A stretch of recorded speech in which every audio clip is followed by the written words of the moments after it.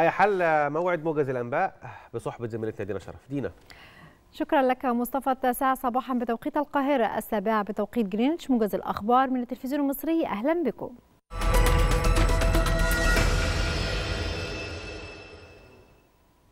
استعرض رئيس مجلس الوزراء مصطفى مدبولي مع القائم بأعمال محافظ البنك المركزي حسن عبد الله عددا من الملفات الاقتصادية فيما يخص المؤشرات الخاصة بالسياسة النقدية والانعكاسات الإيجابية المتوقعة للقرارات الأخيرة الصادرة من البنك المركزي حول إلغاء الحدود القصوى لعمليات الإيداع للأفراد والشركات.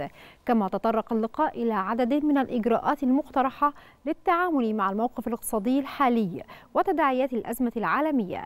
كما أطلع القائم بأعمال محافظ البنك المركزي رئيس الوزراء على موقف تفعيل قرار استثناء مستلزمات الإنتاج ولوازم التشغيل من العمل بنظام الاعتمادات المستندية.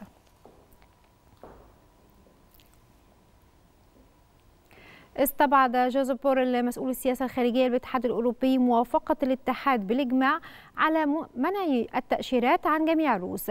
وقال بوريل إن قطع العلاقة مع المدنيين الروس لن يجدي نفعا وأن هذه الفكرة لن تلقى الإجمال المطلوب من قبل أعضاء الاتحاد الأوروبي.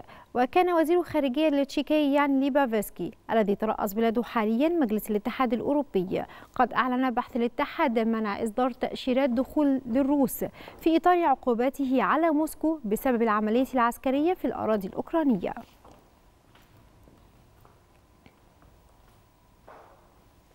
أعلنت أوكرانيا أن قصفا بالمدفعية استهدف بلدات أوكرانية عبر نهر دبرو الذي تقع على ضفته المقابلة محطة زابوريجيا للطاقة النووية. من جانبها قالت وزارة الدفاع الروسية أنها سجلت المزيد من حوادث القصف للمحطة من قبل القوات الأوكرانية خلال الساعات الأربع والعشرين الماضية وذلك بعد يوم واحد فقط من تبادل موسكو وكييف الاتهامات باستهداف أكبر محطة للطاقة النووية في أوروبا. هذا وقال وزير الخارجية الأوكراني ديمترو كوليبا إن القوات الروسية حولت المحطة إلى قاعدة عسكرية.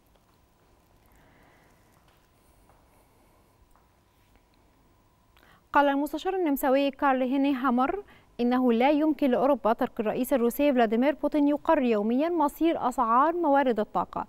وأكد نهامر ضرورة وقف ما يحدث حاليا في أسواق الطاقة وأن التحرك المضاد لارتفاع الأسعار يجب ألا يكون فقط على المستوى الوطني بل أيضا على المستوى الأوروبي. مشيرا إلى أن المسألة ستكون في صلب اجتماع طوارئ قريب. لقي أكثر من ألف شخص مصرعهم جراء الفيضانات الناتجة عن الأمطار الموسمية التي بدأت في يونيو الماضي في باكستان. وأوضحت الهيئة الوطنية لإدارة الكوارث في إسلام آباد إن الفيضانات تسببت في أضرار لأكثر من 33 مليون شخص ودمرت نحو مليون منزل أو ألحقت بها أضرار جسيمة. بالإضافة إلى تضرر أكثر من 80 ألف هكتار من الأراضي الزراعية وتدمير طرق وجسور. تطلق اليوم وكالة الفضاء الأمريكية ناسا المهمة أرتيميس 1 إلى القمر باستخدام أقوى صواريخها على الإطلاق في رحلة تستمر شهرا. وتتم عملية الإطلاق من مركز كينيدي للفضاء في فلوريدا حيث سيجرى إرسال صاروخ نظام الإطلاق الفضائي حاملا كبسولة أوريون ما يدشن عودة ناسا إلى سطح القمر.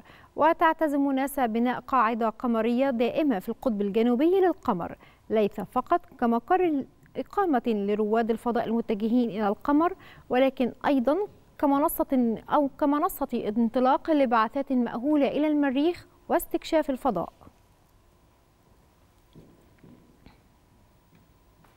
ختام موجز التاسعة فاصل نروح لحضراتكم لاستكمال باقي فقرات صباح الخير يا مصر.